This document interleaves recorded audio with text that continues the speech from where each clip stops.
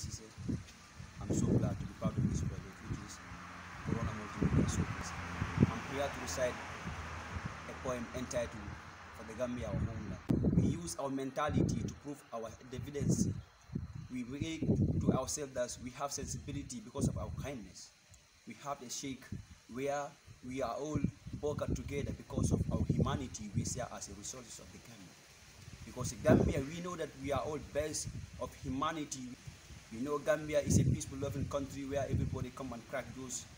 You have Sanoya and Senior in everywhere you go. I thank you all for your kind attention. Wherever we stand, divided we fall. Together we can win, we can do it, and surely we can do it. You.